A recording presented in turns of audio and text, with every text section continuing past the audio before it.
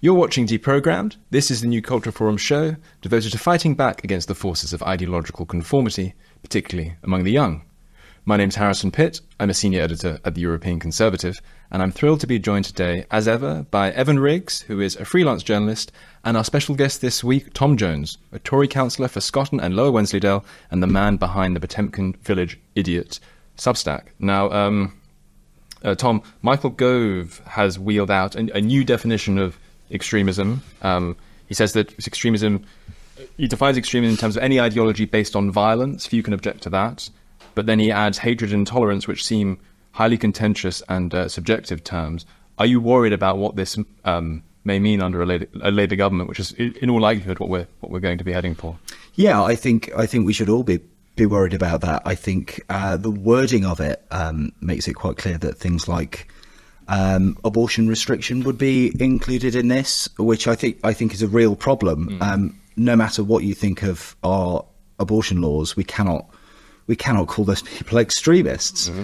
Um, but I think handing that much power to criminalise sometimes quite mainstream thought, I think is going to be a real problem. And I'm really not sure why we're doing it mm. when we are heading into a Labour government that actually we don't know do you, how do, long is going to last. Do you think this is like a f- clever 4D chess move to prevent the Tories from being outflanked on the right?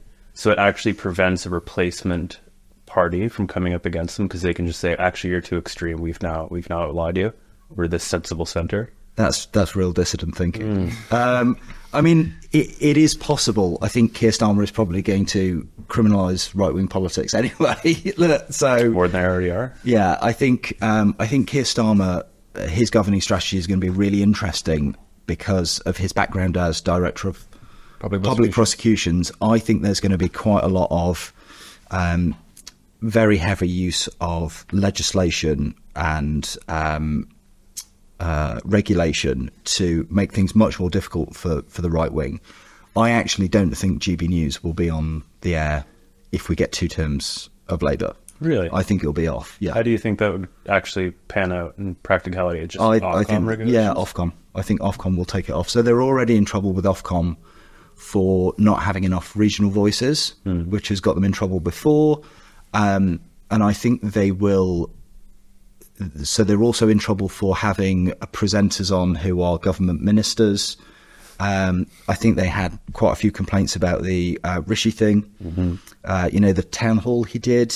Yes, um, it was. It was. It was. It was in Darlington, wasn't it? In, in the in the northeast. Yeah, something like that. For GB yeah. News, and he had to take questions from the audience. Yeah, yeah, yeah unprompted questions, um, and I think they had quite a lot of complaints about the um, impartiality of that, and I, I do think they'll take GB News off. Yeah, well, I mean, speaking like as a Canadian American immigrant, Ofcom is just bizarre to me. Mm. Like the entire thing doesn't make any sense, and it, mm. it doesn't make any sense to me either. Why the the people behind GB News would actually try to make it a an entity that's regulated by Ofcom because they must have known immediately that they were just going to be tripping over it every week, which is exactly what's happened.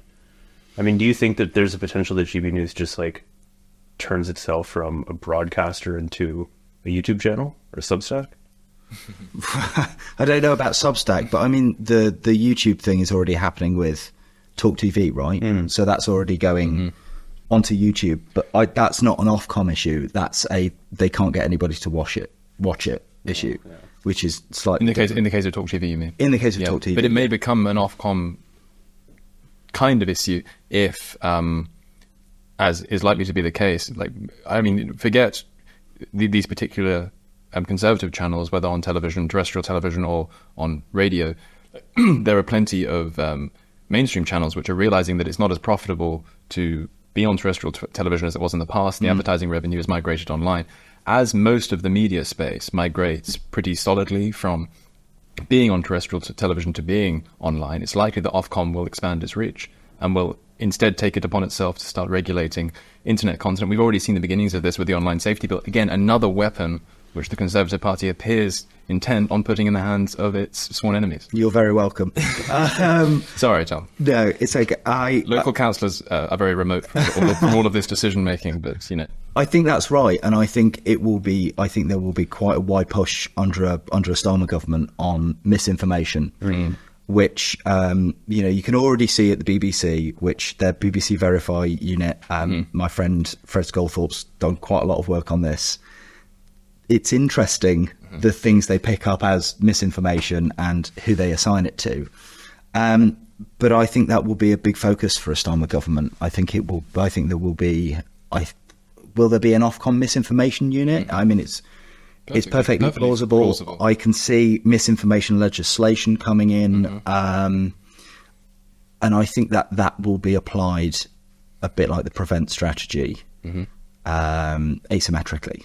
Yes, yes, and like like Will, like Evan uh, spoke about this on uh, on last week's show about the, this sort of cult of uh, even-handedness, or what did you call it? To both sidesism, Yeah. which seems to infect. Well, it's it's it, well, it's like when when Rishi came out and he said, you know, we have a problem with violence coming from uh, Islamists and also the far right who are trying to like tear society apart. And it's like, who is the far right? I mean, I guess they had that hope not hate report that just came out today, which is like Jason Jacob Rees-Mogg, and I'm assuming all three of us are not are not super far right. I'm only like nominally a conservative, um, but I, it, it seems weird to me that you would have to even make a statement like that. And I and, and I do think that you know if this kind of legislation that you are anticipating does get passed, that both sidesism will go away under Labour. They don't feel the need to really play that game. It's a Tory curse that they've inflicted upon themselves. But what, but what, how, how would you, like, I mean, what, what do you think explains this apparent, uh, this, this apparent death wish? Like the, the fact that the Conservative Party is not only, it, like, there, there seems to be a, um, there seems to be, a, they seem to be incapable of realizing that they have people who they're just never going to bring around to their way of thinking, to, to the extent that they hold hold to the, the basics of conservative philosophy, and so, but they constantly seem to be trying to appease this sort of BBC Guardianista class rather than trying to satisfy the people who have consistently kept them in office and have expected much better from them. I have got absolutely no idea. I don't know why we keep doing we keep doing it. I mean, this is the dinner party problem, right? Okay. That like conservative MPs don't want to do things basically that will get them uninvited to North London dinner parties or any London dinner parties. Yes. Um, I think um, part of this is to do with the death of mass participation in um, political parties. So, when parties were set up, they were part of, they were an institution of belonging that sat alongside, you know, the Tory party was called. Uh, Church- Church of England was called the Tory Party, Party at Prayer, Prayer. Yeah, yeah, yeah. Got there eventually. Yes. And um, Now they're the neo-Marxist in, in committee, but yeah. um, and Labour, you know, the Labour membership was innately tied up with membership of trades unions and working men's clubs as well. and working men's clubs, and there were conservative clubs as well, Indeed, yeah. you know, that still exist and now have no relation to the Conservative Party. Indeed, and there was there was a whole sort of aspect of social uh, membership that went with that. It, so you, uh, when you went to the meetings, it, I'm, I'm, I'm, I'm sure that politics came up, but you'd also play darts or you'd play pool, or, and, and you'd have a drink and you'd kind of socialize with your. There was a kind of there was a very charming neighborliness to it. Yeah, but more than that, I think in political terms, that gave the political parties essentially a feedback loop. Mm-hmm. It put them in contact with ordinary, non-political people mm-hmm. um, who would give them feedback about policies they didn't like. You know, mm-hmm. at a local government level, that's saying you know the new roundabout they've installed isn't very good or it needs cleaning up. At the Westminster level, you know, it's talking about particular policies that are coming in, or, or you know how the welfare state is is actually working on the ground.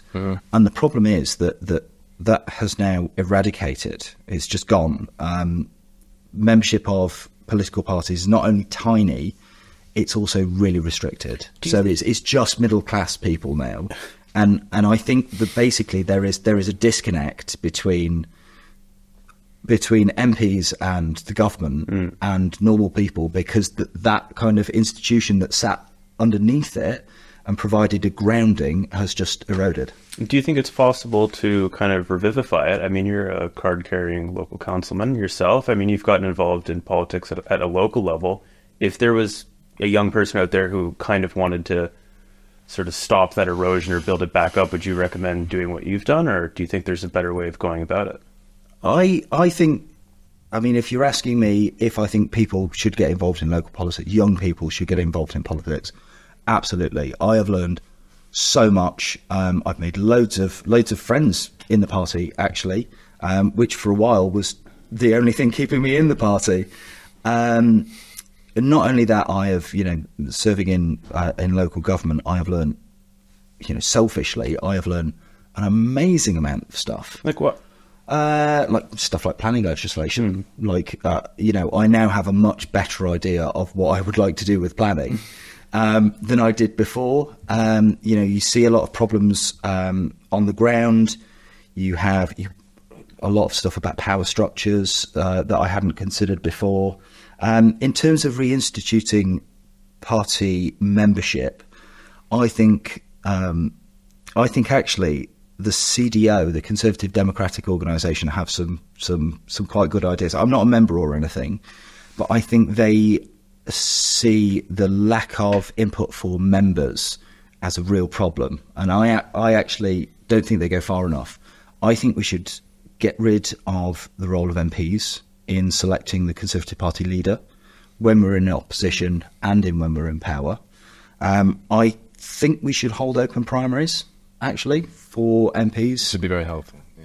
and I think we should make all serving MPs go through open primaries for reselection. MPs For reselection, Yeah. they So even if you are restanding in a very very safe Conservative seat, I think you should have to go. I see what you mean, but, primary but, again. but, but, but it would be local. It wouldn't be national. no, it would be local. I see. Yeah, that makes sense. Yeah, no, I, I would agree with that, and I think this is one of the um, uh, so there's quite a lot there, but I think one of, this was one of the reasons why it's been much harder to, to get populism going in the Conservative Party than it has to get it going in the Republican Party. Because in the Conservative Party, uh, when MPs are sort of putting themselves forward as a potential leader, they first need to hoover up support not from the base but from the parliamentary party, and that there, there are there are obvious pressures there in, in, in, in which which count against more subversive uh, figures and count uh, and and which uh, serve um, stand to benefit much more establishment Yeah. types. I don't know. I mean, the conservatives are probably looking across the Atlantic to the Americans and realizing that if they ever changed that, they could just be taken over. That's the problem. I mean, Trump's gotten now nominated three times, despite the fact that the Republicans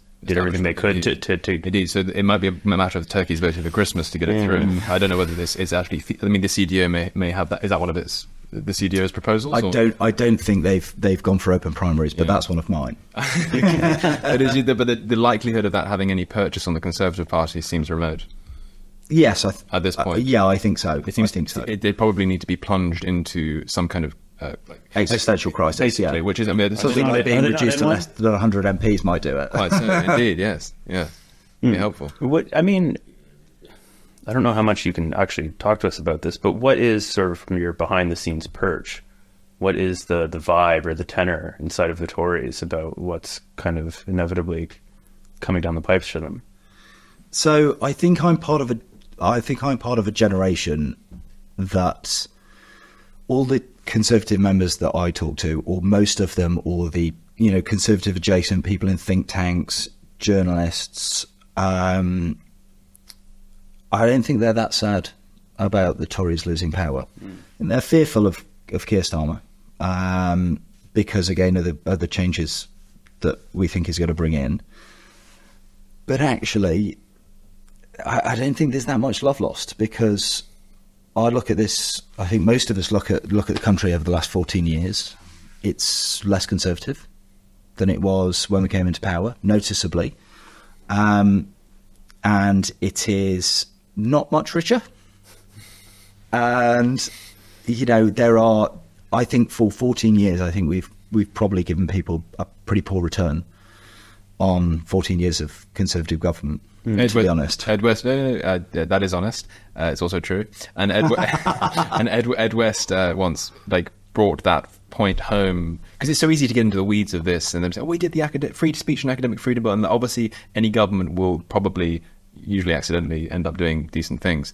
Um, but um, Ed West once put the point very sort of tranchantly when he, he said. Um, Someone went into a coma in 2009 and woke up today and was told nothing about what had been happening politically over the last 14 years, but was just given a flavour of what life was like in Britain. It's not in a million years would they suppose that a Conservative government or some some version of a conservative government, the coalition, and obviously the Brexit stuff and all that sort of thing. But some version of a conservative government had been in power for 14 years. Like, they, there's no way they could come to that conclusion. They would assume that the, the, the Blairite project had proceeded more or less undisturbed. So that it has. it has. There, there, there's there's fear and there's not not really a great sadness, but is there any anger? Because I imagine that if somebody woke up from that coma, they would be kind of bewildered and then pissed off. Yeah, there is there is a lot of anger, and actually, I think this is really interesting. So we were talking before the show about um, Politics Joe, and you rolled your eyes obviously because yeah. they're they're very very left wing.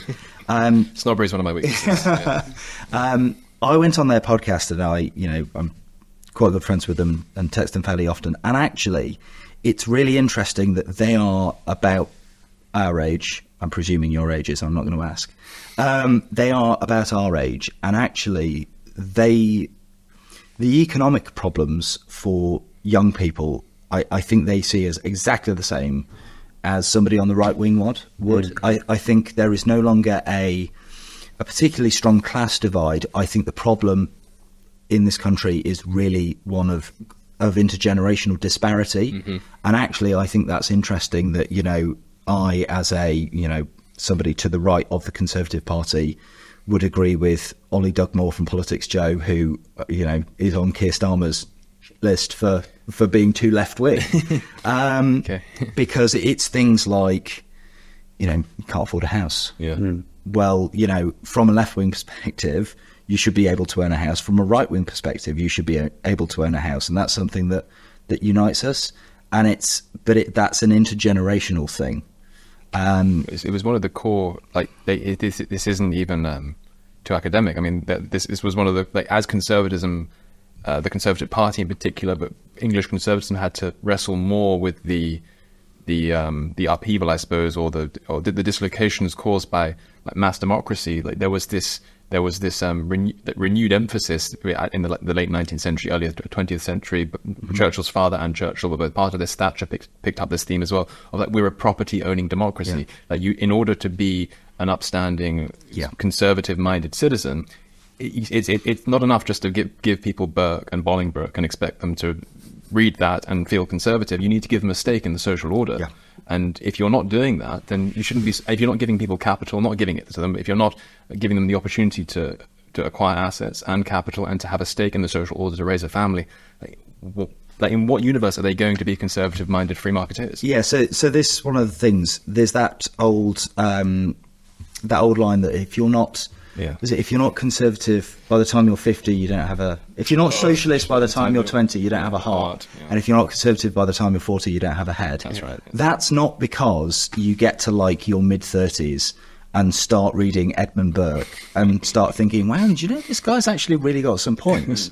it's yeah. because as you age, you build up a store of financial and um, and cultural capital that gives mm. you a standing uh, in society mm-hmm. that is worth conserving. Yeah, you have to actually have something to conserve to yes. be conservative. And and our problem is the conservatives' problem is that we have prevented an entire generation from doing that mm. by focusing on homeowners, not homeownership. Mm, um, yeah, uh, my uh, friend James Vitale has a great line about this. Um, about he, he works at the, um, the the what's it called again? Just so people know, he's he's on Twitter. James Vitale. What's he called? James Vitale. Oh, it's Policy Exchange. He's the yeah, something Policy Exchange. Policy yeah. Exchange, yeah. Um, he has a great line um, about two nation Toryism that basically we have created a mm-hmm. two nation Tory state of homeowners and non homeowners. Yeah. And from a purely political perspective, that's mad mm-hmm. because people who don't own their homes do not vote Conservative. You know, flatly, and also economic, moral, social squalor that follows from not owning your own home. Quite, yes. You know, we, we talk a lot on this um, on this show about there's there's been a couple of figures, you know, Peter Hitchens being probably the most prevalent one or prominent one, um, who have said, you know, that young people should just leave the UK. Um, but I do wonder to the degree that, you know, if if I was an intelligent young British person, I wasn't particularly political, and I could go to America and actually like own a home, or, or I could go to New Zealand or wherever, and you know build this kind of life. Like if you're not in it for purely ideological reasons, I do wonder to the degree that the Conservative Party has pushed out its its future. Has it's not brain drain. I don't know what it would be. It's like exile. Um, I think that's right, but also I think probably the the primary driver of emigration is is um, purely economic. So I think I think there is some crazy stat about police officers. I think um, one in four has applied for. It, it's not as high as one in four. It's about one in seven has applied for a job in Australia. Really? Because well, if you're a policeman, why, you know, look at the way the the police are, are considered by both the right and the left in in Britain. Why would you stay? Why would you stay? Or you could go to Australia and you know, like go and work in a really high trust little village in the middle of nowhere hmm. and, and get paid way way more. See, I, I And made- it's sunny all the time. Yeah, I, I've made this point a few times, which is that if you had an actual conservative government in this country, what I would try to do is I would go to the Kiwis and the Aussies and the Canadians and all the people who are living in, in mm-hmm. blue America and feel like they want a way out and say, come to come to the UK. Mm. Like just basically, if if you're going to have like this like mass immigration scheme, why don't you try to pull it from you know the former colonies or the Commonwealth and say like, look, if if you feel dispossessed in Australia because you're being locked into your homes during COVID and people are flying drones overhead to make sure you're not in your backyard, come here. We'll pay for your plane ticket to come here and, and just hoover up all the talent. And in reality, you're having the exact opposite thing, which is that like for people like us who are political and, and care about this this country, they say, "Well, I'm going to stay and I'm going to make the best of it because I believe in it." But if if you're not, if you're just a normal person, I I probably wouldn't recommend that people come to the UK at this point. Certainly not that they come. I'd try and urge them to remain, but it would be difficult to make the case that they hmm. just turn up on our shores. Yeah, I mean, isn't it the case that the manager of a uh, drive-through car wash earns more than the prime minister? Oh yeah, Buc-ee's. That's, Yeah, an yeah, Ameri- yeah. that's an American institution. Yeah, That's it, Buc-ee's. Yeah, I mean, we are poorer than every U.S. state bar Mississippi, and I think a couple of years ago we were poorer than Mississippi, GDP per capita. Sure. And you know, from an economic perspective, it's you're right. It's really difficult to make that case, and I'm not sure I could. No, indeed. I mean, housing costs are also insanely high in Australia, but you know, you can go and, and get a house, and, and at least the wages are, are, are much, much, If- much if you're, higher. if you're a truck driver for a mine in Australia, my uncle lives in Australia. You make one hundred seventy-five thousand dollars a year being a truck driver for a mine. I mean, you know, it's not the most glamorous job, but you're fine if you if you just have kids or whatever and you don't care about that stuff. Yeah, yeah, and and yeah, the the cost of living is higher out there, but you're also buying yourself quality of life mm. Because, like I say, it's sunny all the time, um, and you know, it, it- yeah, yeah, I, I think it would be really, really difficult to make the case for people to come to the UK, Did you see and that? yet they keep coming. you know, No, not the, type, not the types that everyone's talking about. no, we're having this debate, but you know, we let in, you know, immigration was 1.2 million Yeah. people over the last two years, so yeah, well, you know, Well, it's especially weird for truly me people do want to come. Yeah, I mean, again, I, I'm I'm not a Brit, obviously, but uh, you know, when I like if I look for work or I'm I'm talking with people in the U.S. and I just do a salary comparison to the U.K. and it's like half. Yeah. It's it's I I mean, if I went to Cambridge or Oxford or whatever and was like looking to actually make a career, I'd I'd just be going to that. I'd be like, I'm off to New York. Why, Yeah. why would you come to London? Yeah, and also you know they've they've got energy abundance. They've they've also got land abundance. So you know, Got the Love Actually effect. You'll Yeah. you'll immediately go up in the uh, the dating rating just with the accent. Oh, is I that can't go much lower. So, so you- if you talk like Hugh Grant, you have a chance in. Yeah, oh yeah. Interesting. Have a chance. What do you mean? You you swarmed. Yeah, yeah. No, it, If my girlfriend is watching this, I'm not thinking about it. Very good. Yeah, no. Uh, I just, I mean, this is. I, I think it would be it would be a really really good idea for. Like, it's the sort of thing that DeSantis has tried to do in Florida, hasn't he? Like you- when the when the whole sort of BLM, um, as my as one of my friends likes to call it, the year of a- 2020, the year of a million non sequiturs. um, uh, like when when BLM was was kicking off, and you know, police in incredibly in Democrat run cities, understandably, didn't feel like they had much in the way of job security. That, that they wouldn't really back them in their effort to kind of clamp down on cri- crime in, the, in those high crime areas. DeSantis was like, come to Florida, well, we'll give you this, we'll give you that. There were all sorts of carrots, They didn't turn anybody away. Is the thing. Is if you applied, you basically got it. Yeah, Uh, that was the. Say that again, sorry. Uh, basically, if if you were a police officer from Seattle and you were just like, I want to get the hell out of Seattle, I'm going Yeah. to Florida. Yeah. It wasn't like you had to like apply. And there was a bunch of people that were like, "Oh, and it was an instant signing on fee or something like that. There were all yeah. sorts of carrots. I mean, there's no reason why. Like, it would have to be calibrated in the right way because you're right. We've had lots of immigration, but it hasn't tended to be from those high, high. Yeah. Post Brexit, immigration has in, has overwhelmingly been from less culturally compatible lower income countries rather than from more culturally compatible high income countries. Yeah, I, I really like Neil O'Brien's line on this actually, which Mm. is to make uh, Britain the grammar school of the Western world Mm. in terms of immigration, which I think is really great. And people nice love grammar schools. They do, yeah. But we do need to work towards a much, much, much more selective system. And this is this is absolutely baffling. I find this completely baffling. People have voted in this country consistently since immigration rose in the mid 90s to reduce immigration. Mm-hmm. And that culminated with the Brexit vote, and it was amplified with 2019. Um, and yet, immigration continues to rise. Mm-hmm. You know, the points-based system was very clearly a way to people considered it a way to reduce immigration, and yet Yeah. Immigration has gone up. Yeah, it wasn't just a constitutional uh, formality. No, in, no, in absolutely. people's minds, and that's how the Conservative Party have treated it. And just people on the people on the Brexit supporting side of things generally, like the the, the, the real way, in my like in, in my view, the, the real way to um, try and rumble someone who's actually not really a restrictionist, but which is merely try- using the popularity of restrictionism in order to promote their Brexit. Uh, fantasies is if they use the word control immigration instead of reduce immigration. Yeah. And Boris Johnson, like if you go back through all of his old speeches, almost exclusively he was refer- he would only ever refer to controlling immigration, like not so much talking about what they're going to do with that control, but it w- but the powers would be repatriated to um, to Westminster as opposed to being um, you know uh, in Brussels. But you don't have to look back through his speeches, right? By, Well, no, it's true. by your deeds shall ye know them. Quite you so, know, quite so, um, yes. But not, not three years of constant, uh, of constant all-time high Yeah, immigration. no, of course. But this is the, one of the problems, though, is that I, I, I maybe you just actually this, this is an interesting question. I might want, I do want to ask you. I think there is a complete misunderstanding about in in the public mind about the different factions in the Conservative Party. There's this view that Boris Johnson is this sort of right wing. I, well, maybe maybe because of his hair. It's because people just like hair. think he's oh, Trump. Think he's Trump because of his hair. But the people, not, not enough people know what a, sort of swivel-eyed liberal cosmopolitan he really was. Yeah. They haven't really cost. I mean, he's got. He was given a show on GB News. I mean, there are all these people, creatures in the Conservative Party. Again, I, I, sorry, I don't. Has he even done that show? no idea. I was thinking about I don't know what's Doesn't happening. sound I don't know what's so. happening. He did this big announcement that he was going to do a show yeah. at GB and then just like Yeah. never showed up. No, it's very strange. That's because Ofcom are going to ban it.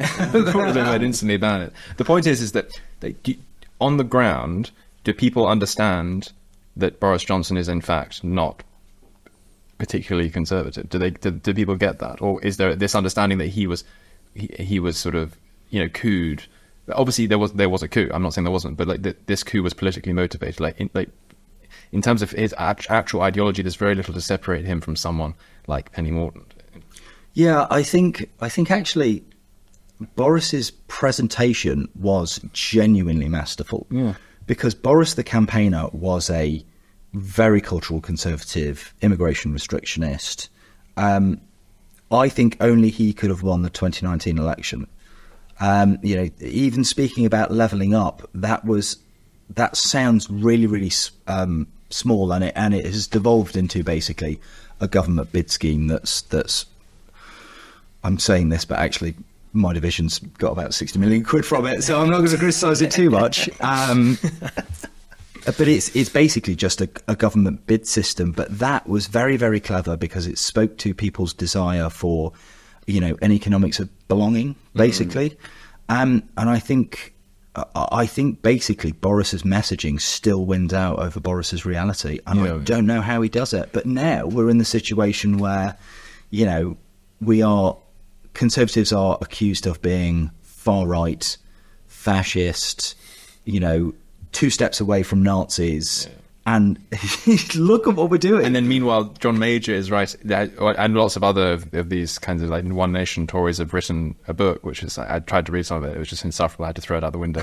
It's, it's called uh, "The Case for the Centre Right," as if like we haven't, as if we haven't been governed by sort of centre leftists for, for, for for a good deal of time. And I, and I also it also occurred to me that like if if like by by the standards which people like John Major invoke today in order to condemn the Conservative Party as far right, he in the 1990s Yeah. was presiding over Fourth Reich levels of immigration. I mean, like by his own standards, Yeah. because it, the immigration was completely negligible, negligible in the. We're talking in the early early 90s. Here. It was in. It was it was um, consistent with patterns that had. It was in the Yeah. of thousands that had existed in the, in the previous decades. And, but all of a sudden, when immigra- net immigration is running at, at about 650,000 a year, grows 1.2 million. Yeah. that's sort of dangerously far right. It's also like, sort of like weirdly bizarre and myopic to call anyone in the conservatives far right because if you then look to the continent and you look to the parties that are starting to take Yeah. over, they actually are they far, far, far right? like they're off the Richter scale. Like, Yeah. if, like if you think this is far right, have you seen what's just happened in Portugal? Like, Yeah, yeah. wh- wh- wh- I don't know. It's it's it's bizarre to me, and it's it's also bizarre that you don't really see this conversation happening in the U.S. You do see a little bit of it in Canada. Um, What do you, what do you mean? Which conversation? w- this conversation of any sort of conservative challenge is far right. Um, and I, I don't know how long that can last because people will simply say it, it's kind of like the word racist, which has now begun to lose almost all meaning because everyone eventually was one, um, or sexist now, which is like you can't even you ca- call someone that they won't even get fired at this point. Yeah. it's like far right is losing all its potency, and there are actual far right people out there, um, which I you're, you're giving them a lot of cover by calling Jacob Rees-Mogg, you know, like a semi-fascist. Yeah, I mean, I mean, it's just an enforcement mechanism for things the establishment doesn't like, right? Um, I think it's, I think it's going to be really, really interesting because I think probably we are part of a generation of of conservatives who, having grown up for the first time with the internet, probably that stuff doesn't really affect us that much because it's been going on hmm. since the year dot. yeah, yeah. And You mean we- we're sort of plugged into the linguistic inflation that's been going on, so we don't. Exactly, exactly. And actually, you know, again, you look at the last 14 years of near consecutive all time high immigration figures. is that the actions of a racist? Yeah. You know, there is this disconnect between between what we're accused of and what we're doing. Mm-hmm. And I, I basically think that these things will, will just eventually get to a stage where they are washing off washing off politicians' backs. And I think I think that's that was one of Trump's superpowers was that Trump did not care what people who were not going to vote for him thought of him. And I think you see that with somebody like uh, Bukele in Yeah, El, El Salvador, El yeah, Salvador. He does not care Yeah, yeah. What people who do not are, who are not going to vote to for be him fair, in think. the, in the case of Bukele, I think he has um, only like 5% of the population is not voting for him at Well, this point. exactly. Okay, yeah. But, no, but but this is the But thing, though. a lot of those people, like he is very, very much criticised in the media. yeah, exactly. Hmm. And I think the media is, is overrepresented with Bukele critics, mm-hmm. and he just doesn't care. Hmm. And and people will accept this. The Conservative Party used to have a reputation of uh, cruel but competent, and now we are cruel and incompetent. Exactly. The- the- uh, yeah, it doesn't help. The, the, the, the other thing with Trump, that one of his, um, you you're absolutely right to call it a, a superpower. Um, the other thing with Trump is that um, he had basically kind of two options. When, like whenever he, as your mainstream media journalists would try to catch him out, he'd either weaponize the language that he or she was using against that person. And so the, that, uh, there will be other cases, but the one that I can think of off the top of my head was when he was once asked, like, put under lots of pressure to kind of come out in terms of what he thought about uh, the, what, do you want do you want Ukraine to win and um, and do you want do you want do you want regime change in Russia? And he said, I want the fighting to stop and I want regime change in Washington. Like that's good. And then and, but and then or he would make a joke. And the famous one here is of course where he was like all of these completely indefensible comments he'd made about women over the years, and then the famous like only Rosie O'Donnell line. Only Rosie O'Donnell. Mr. Trump, you've called women disgusting fat pigs. No, no, no. Only Rosie O'Donnell. Only that one woman. Uh, I think that like won him the election. They, uh, uh, almost. I actually won quite a lot of money on Trump. Did you? Yeah. In the first debate with Hillary, Oh yeah. I I had I had watched the Republican debates and I watched the way he destroyed low energy Jeb. Yeah. And I thought this guy might not flame out. This guy might last the course. And in the debate with Hillary, where Hillary said, um, I think it's a great thing that somebody like Donald Trump is not in someone charge with of the our te- someone with the temperament of Donald Donald Trump. Trump is not in charge be of our jail. legal system because you'd be in jail. I thought he, he's going to do this, But it- it was in- because he doesn't. He doesn't care, and that's the politics of like in Machiavellian terms. Yeah, that's okay. the politics of the lion, Yeah, yeah. frightening mm. off the Yeah. wolves, Yeah, yeah. and people love that. Yeah, they do, and this. is But I just don't understand why the conservative. I can't. I, I, the conservative doesn't seem to understand this formula that if you put, if you if you put before the country a perfectly legitimate, humane, um, sort of culturally conservative, socially conservative, demographically conservative uh, like agenda for five years, ten years, but for the next five years and the next ten years even.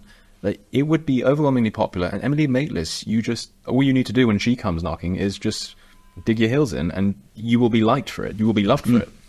I uh, I wonder how much of this is is deliberate and how much of this is about governing strategy. I I talk quite a lot about governing strategy in the things I write because I think it's really really important, and I think part of our problem, I think the the thing rotten in the state of Denmark is that we have failed to overturn the Blairite governing strategy. And I think that's our original sin mm-hmm. because we have outsourced greater and greater amounts of money and power out of the hands of democratically elected, democratically accountable ministers mm-hmm. Into quangos, into the hands of civil servants.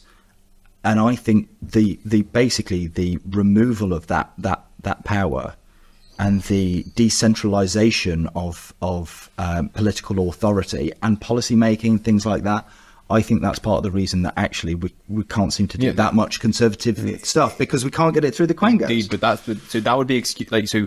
I, I agree with you. I think that's absolutely true. There's been a failure to there's been there's been a resignation about like trying to work within the Blairite paradigm rather than um, you know trying to remake it or to replace it or dismantle it or like however you Drain want. the swamp, destroy the blob. drain the swamp, destroy the blob, however you want to put it. Uh, but um, that would be excusable if they'd be, not excusable. That would be more less con- contemptible if they had um, if the Conservative Party had had nevertheless not like sort of uh, doubled down on the Blairite revolution. It's one thing to work. It's one thing. So it's, one, Yeah. it's one thing to work within the Blairite paradigm. It's another thing to fortify it and make sure it's even more heavily entrenched. And I mean that's what we're seeing with this new extremism definition Yep. from Michael Gove, uh, the mass immigration going even even even further up. Um, you know, the online safety bill, sort of making the the kind of powers which are invested in Ofcom all of a sudden making them actionable not only on terrestrial television but on the internet and other Yep. places as well. Like I, what, that that's what I find very confusing. Yeah, and I think I think actually the the big society has Oh, okay. a lot to blame for this. So you might not remember this. No. might be before your time. When we won the election in 2010, um, David Cameron, um, who I don't know if you know this, I do used know to be David prime minister. um, he he came up with this idea of the big society, Yeah. and it was to be paired alongside austerity. And basically, the plan was to bring in civil society into government and into the delivery of, of government services as insofar as possible, because government could not sustain the level of welfare that it was providing, um, but also because it was better for community cohesion and things like that, which which actually, to be fair, is true. Yeah. Um, but the problem is that what everybody always forgets is that Edmund Burke is always right. And it's the little platoons that we belong to, not the big one. And we were doing all these things essentially through devolution from the state. And they were allowing in astroturfed um, civil society groups and campaigning charities. Um, you know, this is what Pop Coburn calls the radical sheep charities. Um, it basically allowed them far, far more money and power than they had before. So we, you're right, we've doubled down. We've exacerbated the problem much to a far worse extent. You know, we are now giving money to charities. We've spent more on charities that have fought the Rwanda bill in court than we have on the Rwanda scheme, which is I mean, it's crackers. Yes. Because not only is that bad governing strategy, that's taxpayers' money. Yeah, I know. Did you see? And it's like it's you know a hundred million pounds we've spent on sort this debacle. Yeah, so has s- anyone even been sent to Rwanda yet? No, I keep like waiting for like news. no, of, we just keep sending person to Paul. Kagame like a seven four seven full of cash instead of instead of rapists. I mean, I saw, I saw, I saw a headline, and it was like, "We're going to start paying failed asylum seekers to leave the country." I was like, "Why don't you pay the police to like extradite them from the country?" Like, what is this? this is this is another thing that occurred to me when I was reading through Michael Gove's uh, strategy for like so one of the, uh, for defining extremism. So there are all sorts of really infuriatingly vague t- uh, concepts invoked in order to sort of try and nail down what extremism is. But one of the most vaguest of all is like anything which undermines the fundamental rights of other people will be classed as extremist. So if you want to campaign against the European Convention on Human Rights, which I mean, I would I would want us to withdraw from that at this point. I would, and I would certainly want to repeal the Human Rights Act, which kind of enshrined it in, in UK law at, at, in a very important way in I think ninety seven or ninety eight. Like, surely by any by reason by any reasonable definition, like I I, would, I don't actually regard those as fundamental. That well, I don't regard the way the way in which that is applied as actually impinging on people's fundamental rights. But nevertheless, someone could very easily class me or you or Evan or mm. whoever it might be as a person who does want to repeal people's fundamental rights purely on account of the fact that they want to try and correct a, a very kind of um, a- arcane and antiquated um, sort of hangover in British law, which is doing us serious damage. Like, yeah. Can I ask what might be a, a somewhat stupid question, which is that okay? So anything that in, sort of impinges upon your fundamental human rights, which I'm assuming are British human rights, so it's it, if you, I mean, obviously there are countries and people coming from these countries that don't have the same rights that the native Englanders do here.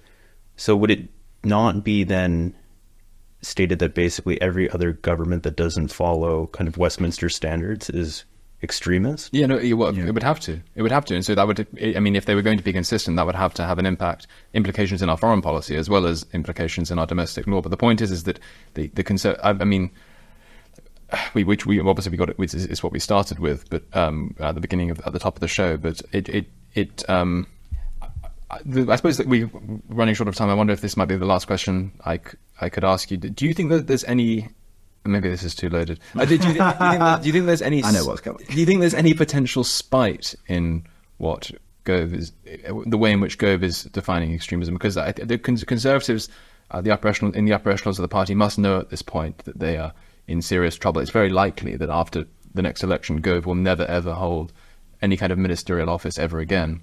Is, do you think part of this is a bit of a a bit of a two fingers on the way out? Spite to whom? So to people like us who feel infuriated and underserved and who and whom Gove must know at this point are not going to be brought around into giving them another five years. I mean, I mean, anything's possible. Sure. I, I, I don't think so. That's how um, I felt. Yeah, I could imagine. Yeah, it felt personal. Felt personal, yeah. Um, I don't think so. I, I, I think it's. I don't think this is a break from what we've been doing before. Like, I don't think this marks a new chapter of sticking two fingers up at somebody. I think this is what we've been doing consistently since we've in, we've in government we've been in government, which is making it quite difficult to make conservative arguments and do conservative things. And I think it's just an extension extension of the way we've governed, basically, which is in not a particularly right wing way. Uh, it might be spite, but My So it's can't not see it. malice; it's incompetence. yeah, usually. The, co- the cock up theory of history. Well, Yeah. listen, Tom, thank you so much for coming on to Deprogrammed. It's been a real pleasure. Evan, thanks as ever. You've been watching Deprogrammed. Make sure to like, subscribe, leave a comment if you wish, and we shall see you on the next one.